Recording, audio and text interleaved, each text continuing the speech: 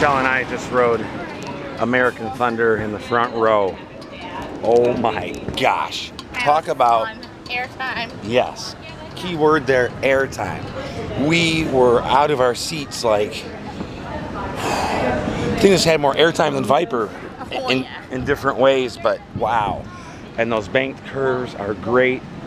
Front row is spectacular. That's what I'm talking about. That was an amazing ride. Oh man. You know, these GCIs are pretty cool. The more that uh, I ride them, I think the more I like them.